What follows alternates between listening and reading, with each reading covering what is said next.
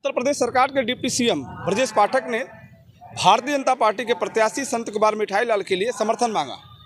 बलिया के जनता से समर्थन मांगते हुए कहा कि यदि आप संत कुमार मिठाई लाल को चुनाव जिताते हैं तो बलिया में विकास की गंगा बहेगी। चाहे वो जेल कारागार की विकास की बात हो, चाहे वो रोडवेज़ की विकास की बात हो, या फिर मेडिकल कॉलेज की बात हो, या सड़क की बात हो, हर क्षेत्र में बलिया विकास के पथ पर होगा।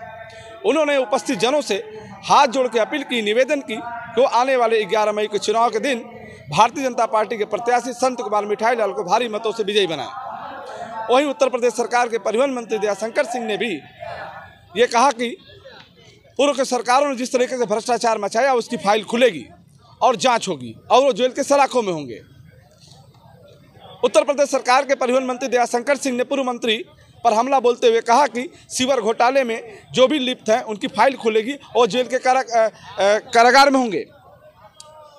हम इस वक्त यहाँ मौजूद हैं जहाँ डिप्टी सीएम ब्रजेश पाठक जी अब कार्यक्रम समाप्त हो चुका है। जनसभा जो चुनावी जनसभा था वो समाप्त हो चुका है। अब वो सीधे मंच से हेलीपैड स्थल के लिए बढ़ रहे हैं। कड़ी सुरक्षा के बीच ये कार्यक्रम आयोजित रहा जिसमें हज़ारों की संख्या में भारतीय जनता पार्टी के लोग मौजूद रहे।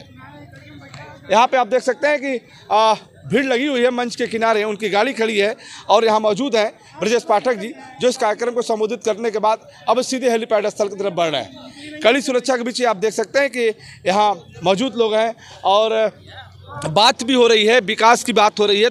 हर मुद्दों पर ब्रजेश पाठक जी ने फोकस किया प्रदेश और देश की राजनीति पर। उन्होंने कहा कि योगी योगी और मोदी सरकार प्रदेश और देश में जो विकास कर रही है उसका ये परिणाम है उत्तर प्रदेश की जनता भारतीय जनता पार्टी को अपना मत करने जा रही है।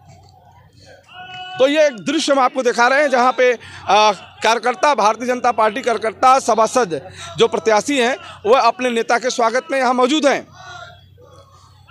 हज़ारों को भीड़ ये साबित कर रही है कि आ, ब्रजेश पाठक डिप्टी सीएम को सुनने के लिए जनता चिलचिलाती धूप में खड़ी है। तो हम फिर आपसे जुड़ेंगे, तब तक रहते हैं। जुड़े रहें बलिया आजकल से, मैं रोशन जायसवाल, नमस्कार।